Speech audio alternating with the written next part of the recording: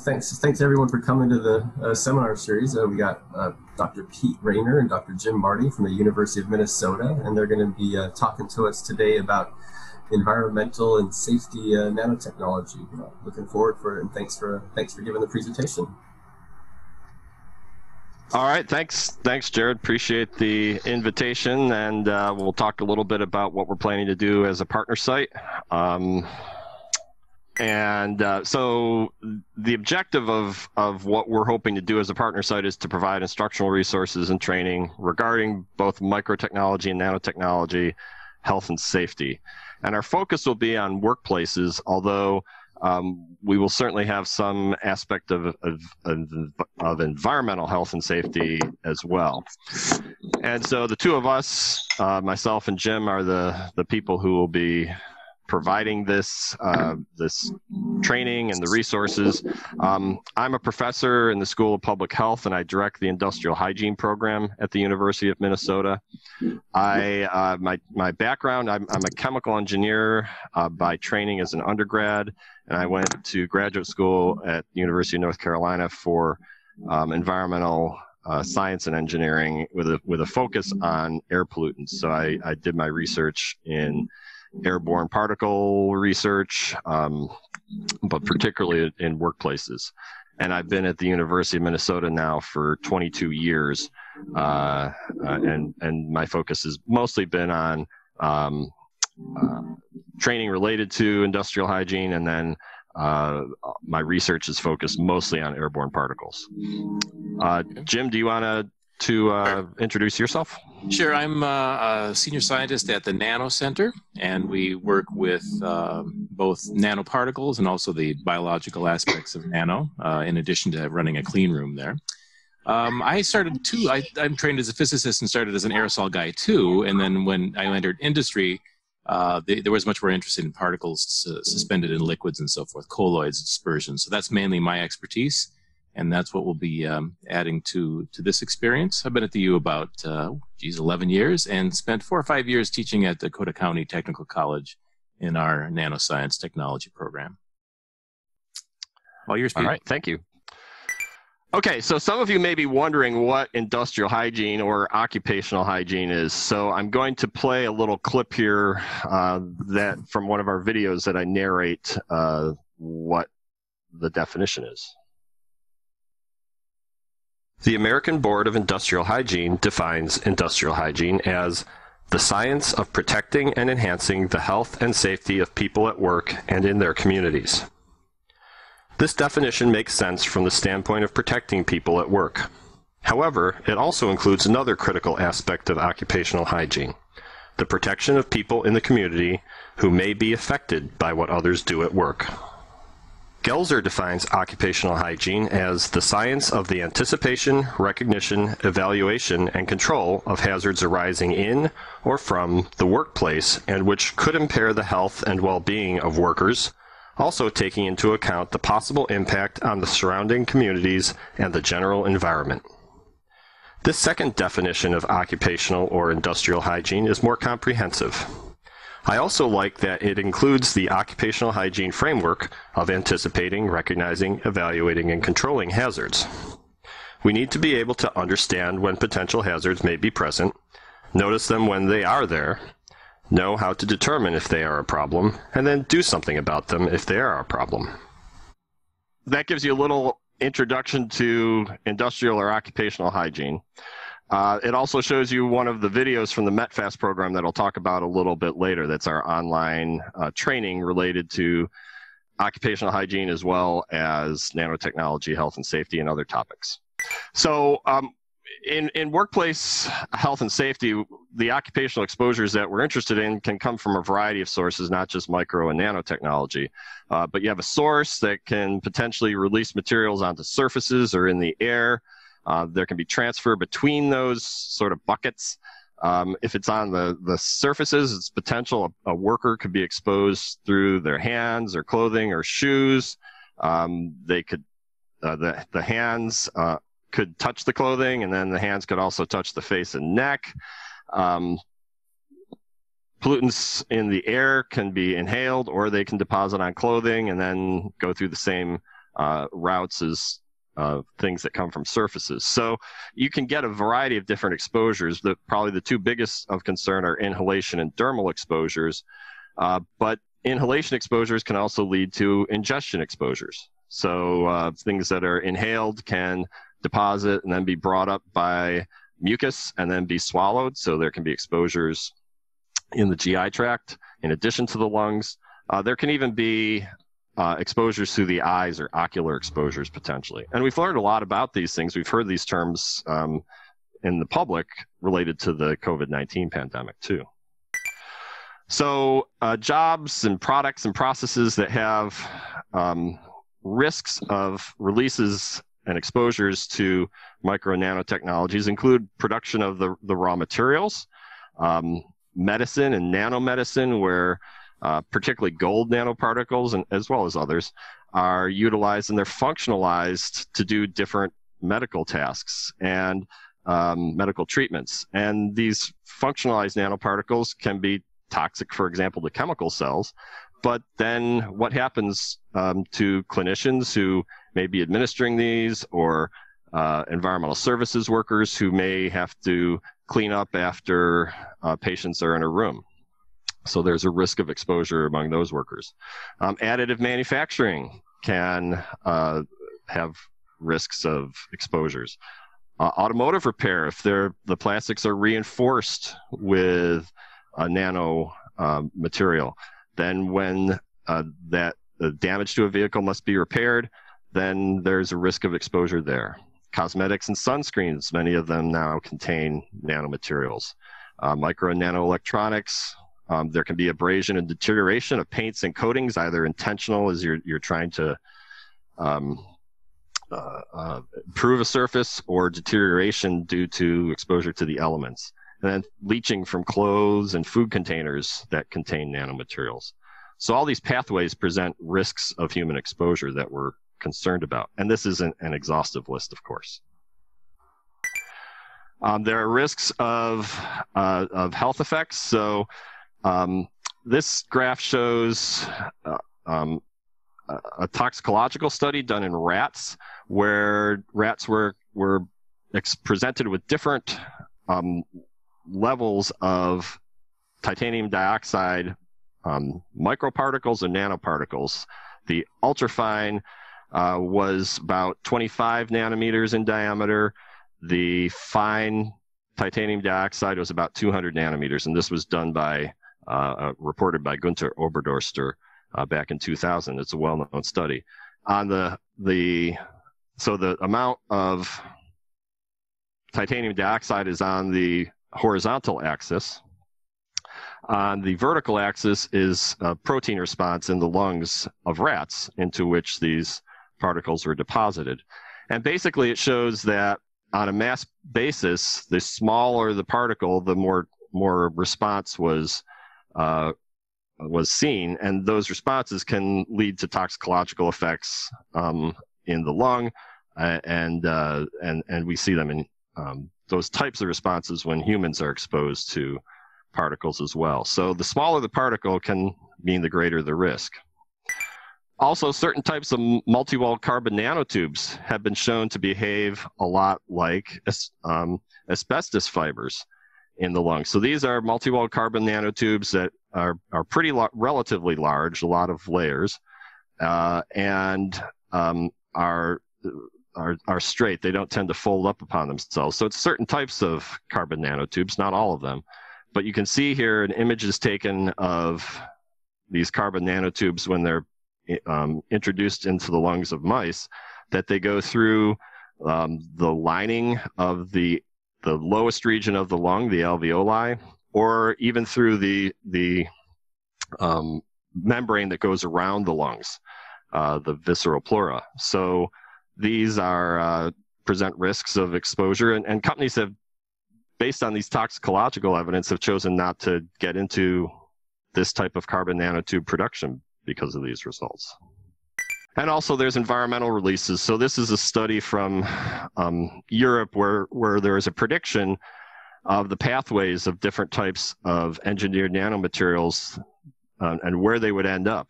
And more than 40%, as you go to the right hand side of the image, are predicted to end up in the environment as opposed to some sort of landfill, uh, which is uh, ultimately where much of our products would be would be deposited.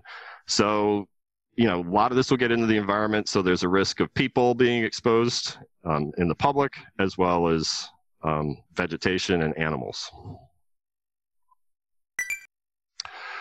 So moving on to, to what we're going to do to help instructors um, uh, be able to uh, provide training related to these health and safety issues.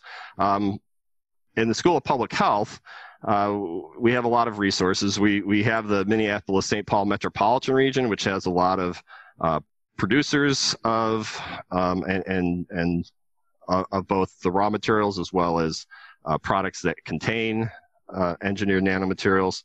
Um, we also have in the region uh, companies who develop instrumentation to make measurements of, of engineered nanomaterials. So uh, we, we benefit from that. We have other partners at the university, like the Nano Center and, and departments in the College of Engineering. Um, we have, of course, our classrooms and, and technology. Um, the Public Health Institute is the time uh, is run for three weeks in May, and that may be the time that we um, potentially will host in, in uh, instructors on campus, uh, and, and possibly through that mechanism. And I'm going to talk a little bit more about our industrial hygiene laboratory and the METFAST program that I mentioned earlier. So our industrial hygiene laboratory, where we can where you can do instruction and hands-on work, is about 2,500 square feet. It's a shared resource with another one of my faculty members, uh, my, my colleagues. We have a lot of instrumentation for measuring airborne particles, gases, vapors, thermal hazards, biological agents. And you can see from some of the images below, we have plenty of space for teaching, including desks, and, uh, and as well as for research and research training, um, and, and, pro- and, and doing hands-on training. So the METFAST program is a collaboration between the University of Minnesota School of Public Health, the University of Iowa College of Public Health, and Dakota County Technical College. And both Deb Newberry, who's on the, the call, and Billy Copley um, were involved when they were at DCTC in, in this project. Um, our partner at Iowa has been Tom Peters. So we're funded by the National Institute of Environmental Health Sciences and um, METFAST uh, stands for the Midwest Emerging Technologies Public Health and Safety Training Program. Our goals, um, we've had, had two funding cycles, um, have been uh, from 2013 to 2016, we mostly were developing web-based modules about nanotechnology, health, and safety, and, and included both hour-long narrated lessons and then hands-on activity instructions. Um, from 2016 to 2021, we've been shortening our lessons, short, shorter term uh, learning assets that can be kind of digested more quickly, uh, but developing our out our curriculum in occupational hygiene um, with emphasis on applications and examples from various emerging technologies.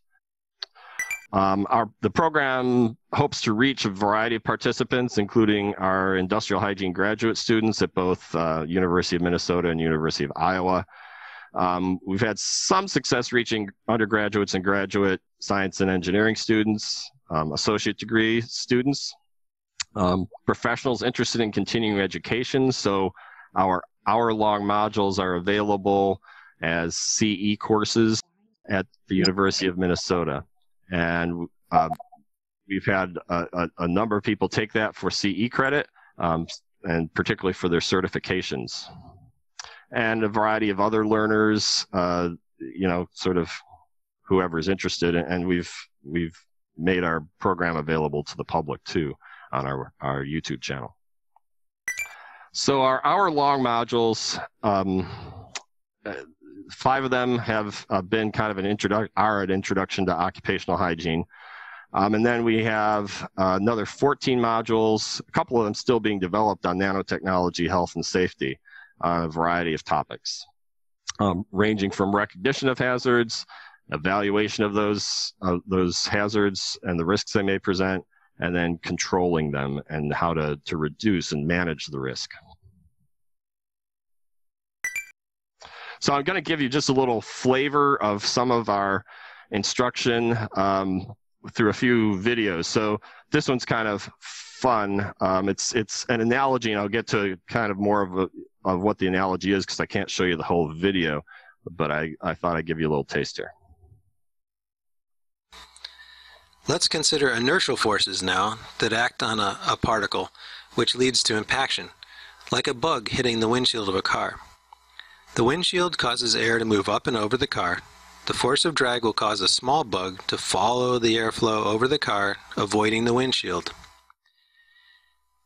In contrast, a big bug, like a grasshopper, resists drag because of its inertia. If the inertia of the big bug is sufficient, it deviates away from the airflow to hit the windshield and make a big mess. This process is called inertial impaction. The concept Okay, so the idea there um, was that an analogy to of the bugs to the particles. So relatively big particles or even microscale particles um, may not follow air streamlines as well as uh, uh, the nanoscale particles. So there's differences in how they behave.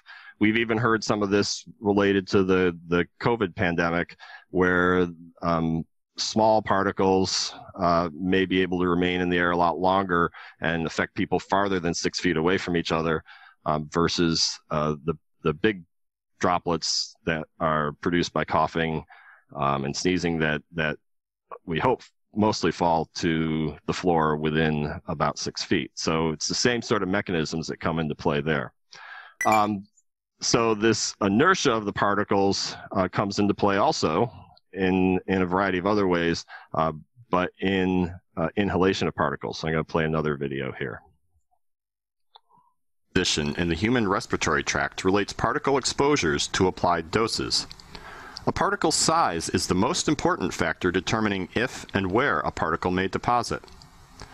Before we can even think about a particle depositing in the respiratory tract, we must know if a particle can even be inhaled into the tract. Because the smallest particles have little inertia, all of them move along with the air as it is inhaled to enter the respiratory tract through the nose or mouth. As we will see, most of these particles will deposit in the respiratory tract, with only a small percentage being breathed back out.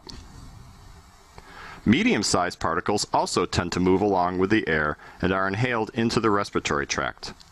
However, the majority of these particles fail to deposit in the respiratory tract and are exhaled back out.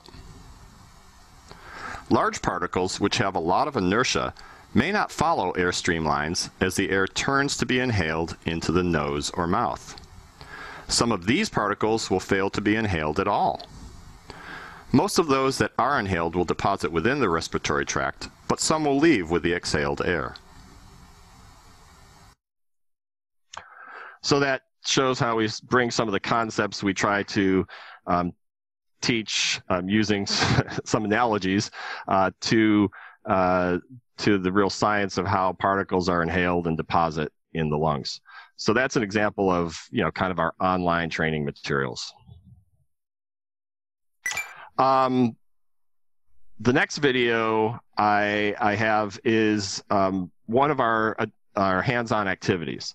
So these were developed um, and, and you can access them through um, the, the NanoLink website. Uh, but we also have videos that demonstrate how to uh, perform the hands-on activities as an instructor. So this is our most popular one. It goes about, I think this video goes a little over three minutes. So I'm going to play the whole thing for you to get a sense of what our hands-on activities are like.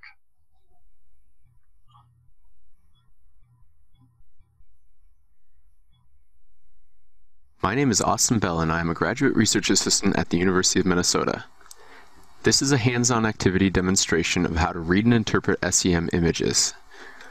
I developed this activity along with Dr. Ramachandran at the University of Minnesota and with the help of students at Dakota County Technical College. For this activity, you will need SEM images printed out for each group of students, metric rulers, and computers with Microsoft Excel. To measure these particle size distributions, we must first collect samples. Samples are collected using air samples with filters and battery-operated pumps. During sampling, air is pulled through the filter and particles that are in the air are captured on the filter. The filter may then be viewed using a scanning electron microscope, otherwise known as an SEM. An SEM is a high-resolution microscope that is used to identify and measure nanoparticles. Because the nanoparticles are very small in size relative to the filter, we cannot observe the filter in its entirety. Instead, we look at smaller sections of the filter called fields of view. Particles in these fields of view are counted and categorized by size. These findings are then extrapolated to the entire filter. For this activity, split the class into pairs or small groups, each one with an SEM field of view similar to the image shown here. The particles are white and gray spheres and they are collected on a polycarbonate filter membrane perforated by small holes that appear black on the image. There should be approximately 20 particles on each image.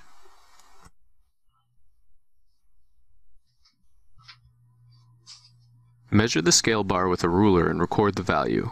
For our example, the scale bar measured at about 5.5 centimeters. Identify all particles in the field of view image and measure their corresponding diameters with the ruler. For the particle shown here, the diameter is about 5 centimeters. Divide the length of the particle by the length of the scale bar in order to obtain a ratio. Multiply this ratio by 200 nanometers in order to determine the diameter of the particle in nanometers. In our example, 5 divided by 5.5 equals 0.9. When multiplied by 200, this equates to a particle diameter of about 180 nanometers. Categorize each particle by its diameter into one of the following diameter ranges. Our first particle would be in the last diameter range for particles over 100 nanometers. Each group should categorize the rest of the particles for their particular field of view image. The class should then come together and add the distributions from all of the field of view images to the Excel sheet provided with this module.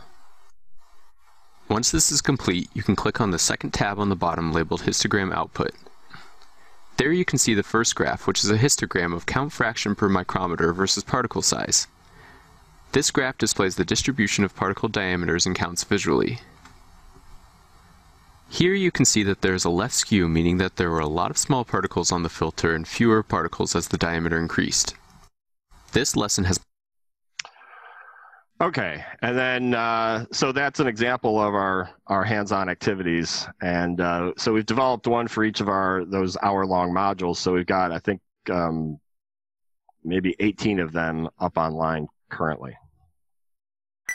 Um, okay, so we have many additional hands-on activities, like I mentioned. There's one here where we look at um, powders and how they may spread, and uh, looking at different size, kind of microscale powders, which come in the form of flowers, and uh, F L O U R, um, and looking at different sizes and see how they spread as a function of the material, as well as how high they're dropped.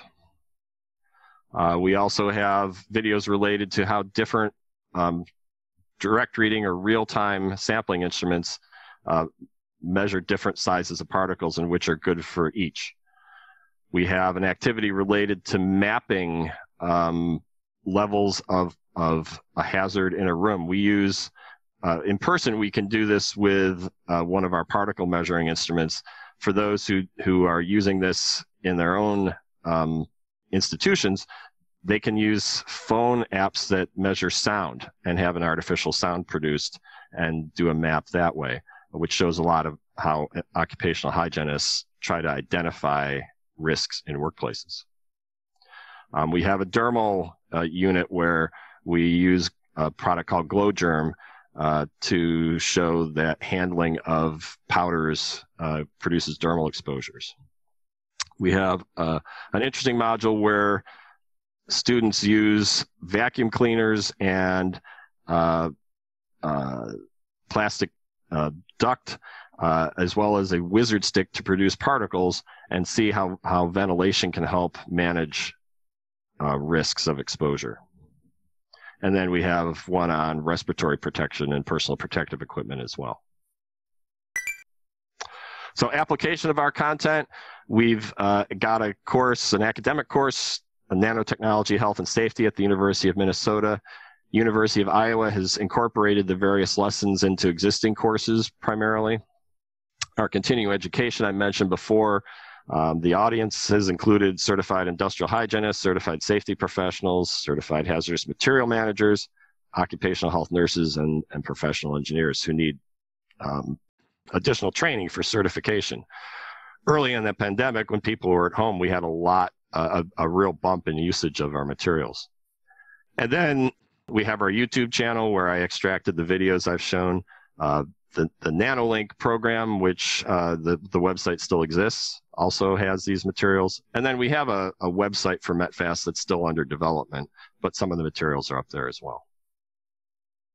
So uh, the second portion of our offering will kind of expand on some of the uh, theoretical basis that uh, Pete will be giving. We'll be going into the uh, nanomaterials lab to work more with dispersions, colloids, and suspensions, uh, kind of augment what uh, Pete will be covering with nanoparticle and, and aerosols in a suspended form. And we'll spend some time uh, getting people familiar with the ways to characterize nanoparticle properties. And uh, then wrap that up with a little bit of an exposure to working in the area of biological nanoparticles, which is uh, a very hot emerging area in applied nano.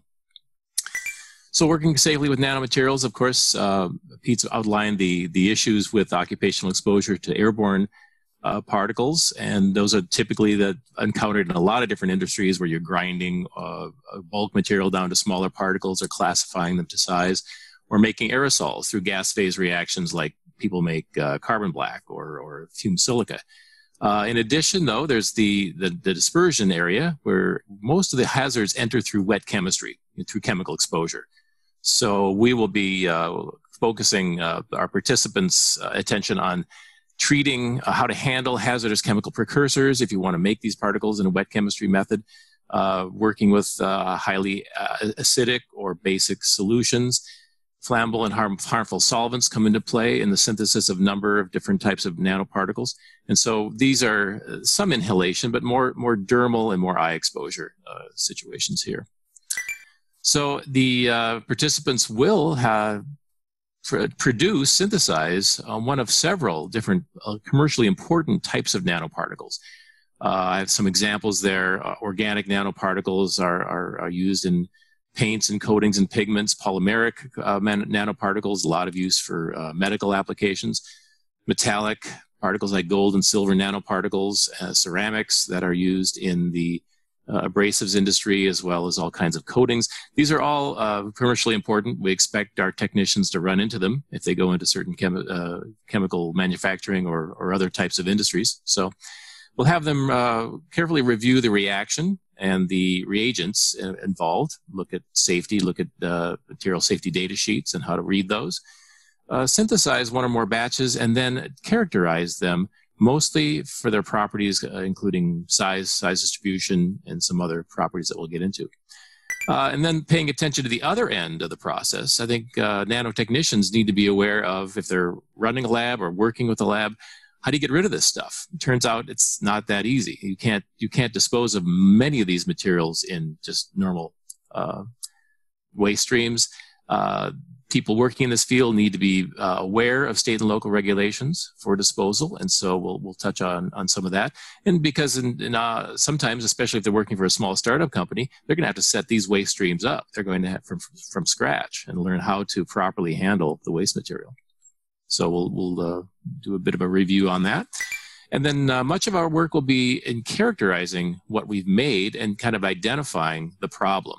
Uh, if you step into an analytical lab role or a quality control uh, uh, task role, uh, we need to, they need to understand what needs to be measured, how you'd measure it, what tools are to be used, what the samples look like, how they need to be handled, and then, um, you know, maybe uh, we'd like to impart some fundamental knowledge in this area. Not everybody's going to be an expert particle scientist at the end, but uh, we'd like to give people the tools to to know how to operate or, or even learn more.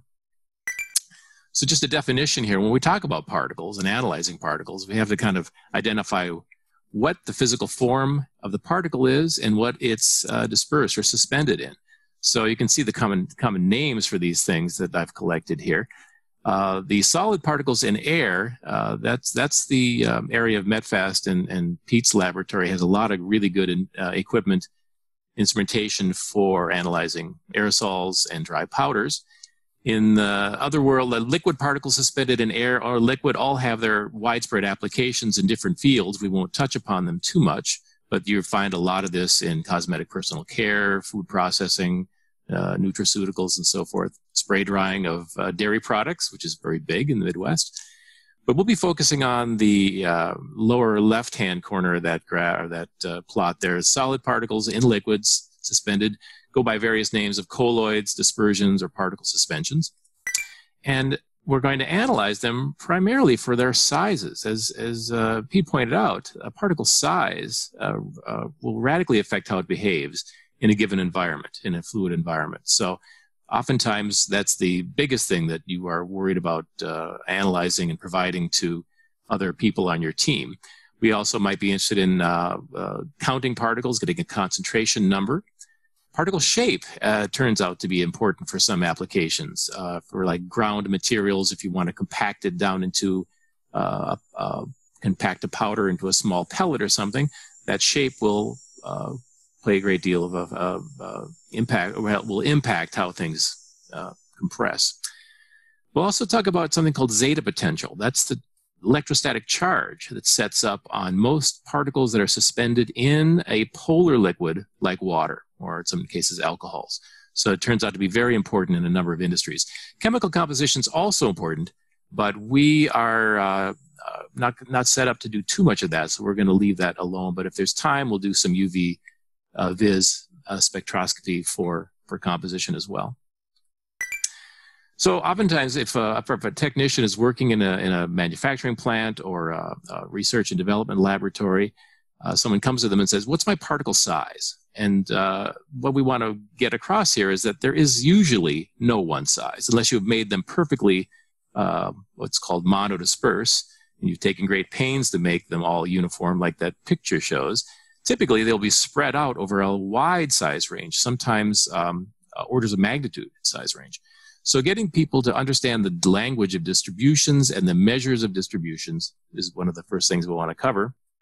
As we move from a single size to a distribution, we need to bring in some of the statistical concepts of curves, median, mode, uh, mean, uh, other measures that are t- commonly used in the industry, uh, D10 and D90. D10 is a diameter at which 10% of the particles are smaller, the rest are bigger, and then D90 uh, is is defined analogously.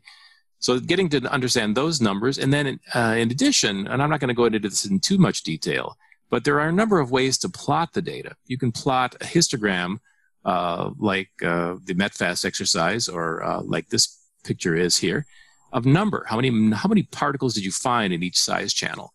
Oftentimes, though, that's not what you're interested in. You want to know where your product ended up if you're grinding something or making something. So, where is the most volume or mass of the material? So, volume weighted versus number weighted distributions, we'll introduce students to that. And then to uh, get them onto some of the techniques that we'll uh, uh, outline. So, a real common way of analyzing uh, size distribution of particles in dispersions or suspensions is laser diffraction. Uh, this is a technology that's an in kind of an indirect way of measuring things. And it's kind of uh, curious. Light is laser light is directed on or, er, er, directed onto a large number of particles in suspension, typically flowing through a liquid flow cell. Each particle is going to make a diffraction pattern. You know, just like your physics experiment, when you pass laser light through a little slit, you got diffraction fringes. A solid particle sitting in front of a laser will do that too. What you get in this system is the combined patterns of many million, not millions, probably thousands of particles all superimposed on one another. So you get the image kind of on the right hand side of the screen. You might ask now, how can I possibly extract useful information when all of the effects of each particle are overlaid on top of each other?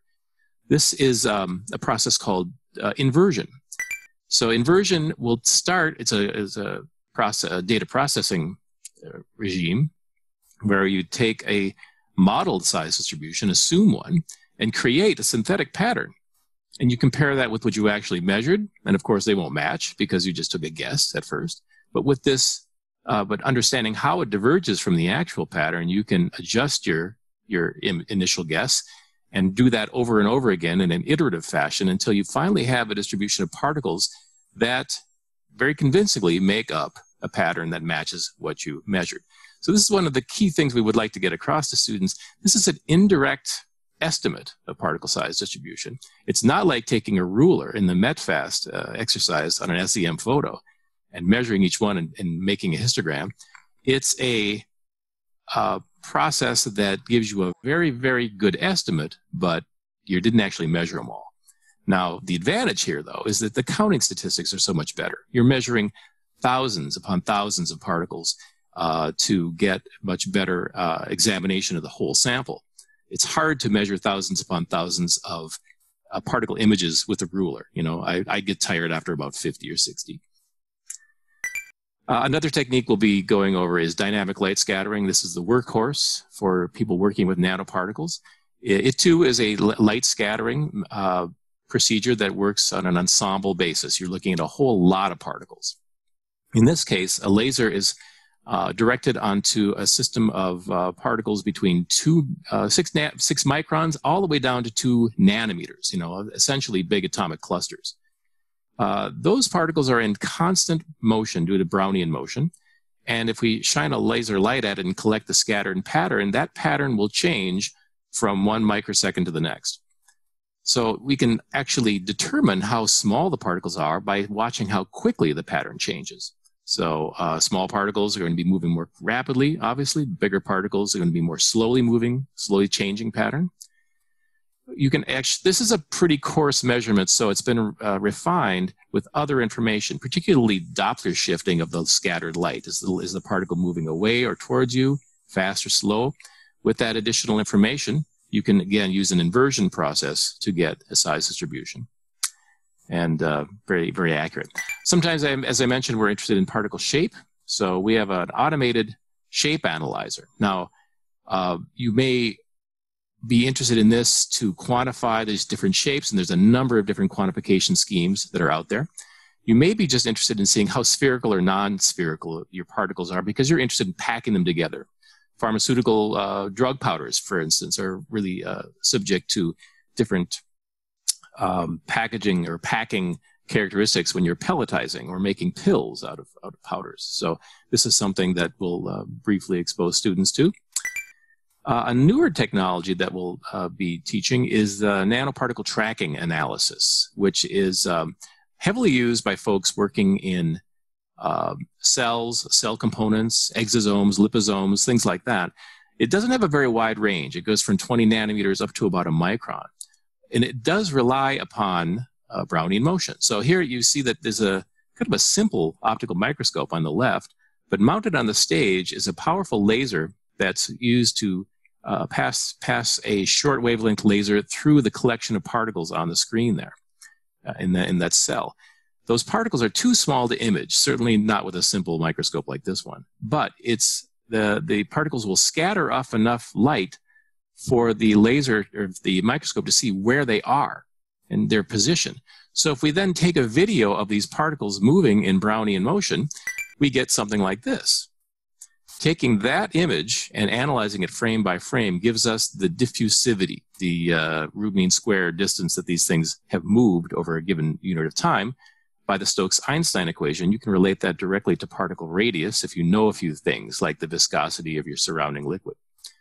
So this uh, this technique is uh, seeing widespread use and expanding use. So we'll definitely want to expose uh, the participants to this.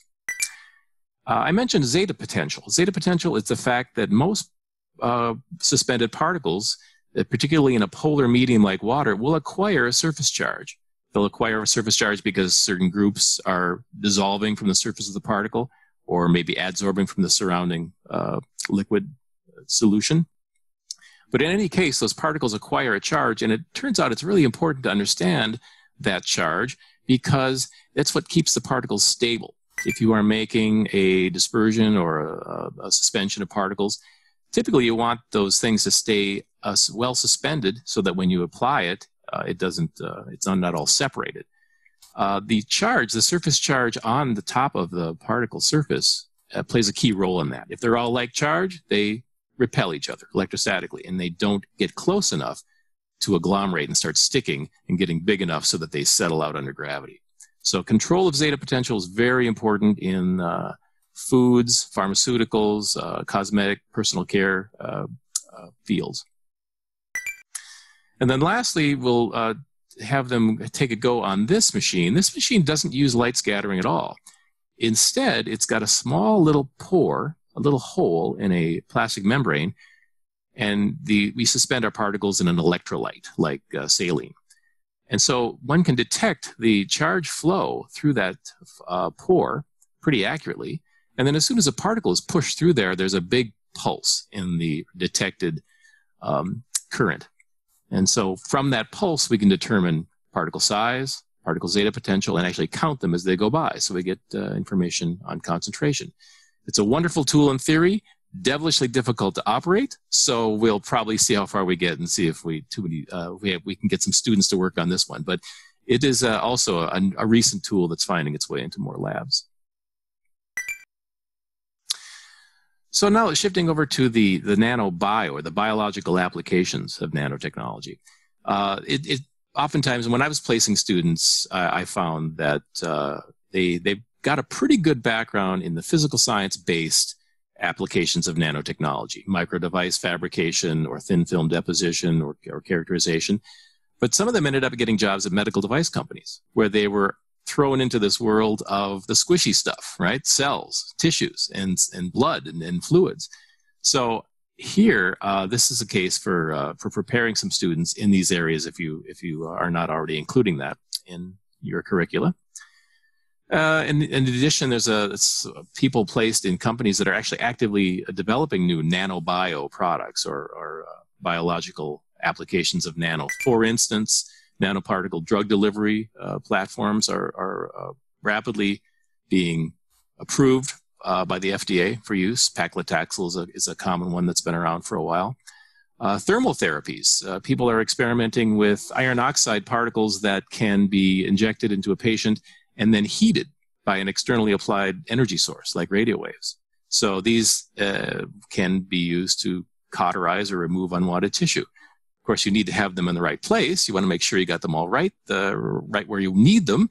But it uh, this is a, a, a, therapy or a therapy regime that it is is moving more towards um, approval and use, and other other areas where uh, nanoparticles are used in life science applications like environmental remediation or cell sorting.